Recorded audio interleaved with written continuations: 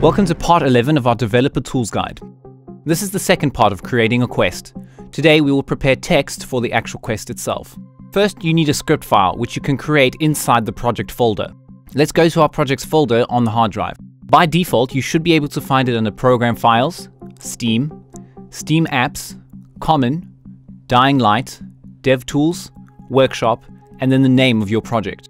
Within the data folder, let's create a text file text underscore steam underscore workshop and change this extension from .txt to .scr.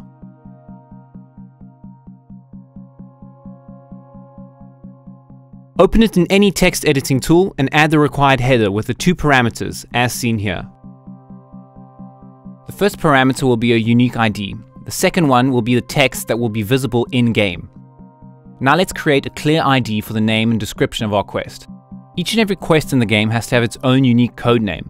For those code names, our IDs will be called for the name, my wallet underscore name, a my epilogue underscore name, and then for the descriptions, it'll be my wallet underscore desk and my wallet epilogue underscore desk.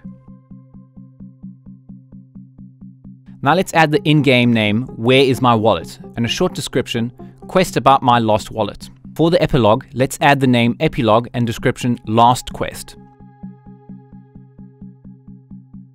When you create a new ID, it's good practice to have their name contain a prefix of your quest's code name.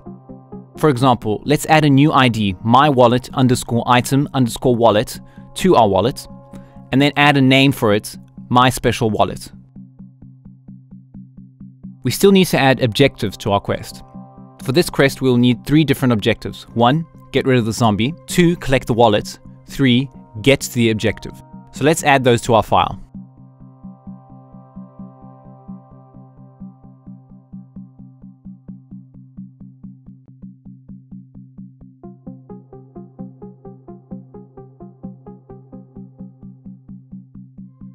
Now let's get back to the editor and load our newly created text. Go to Menu, Refresh, and select Reload Texts. Now let's use one of our new IDs, the one for our wallet.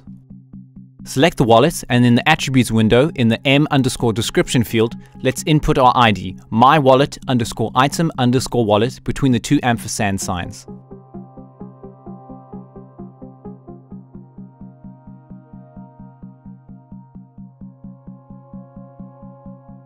As you can see, the ID changed automatically to our custom name. Now we're ready to script our quest, which will be the topic of our next tutorial. Thanks for watching.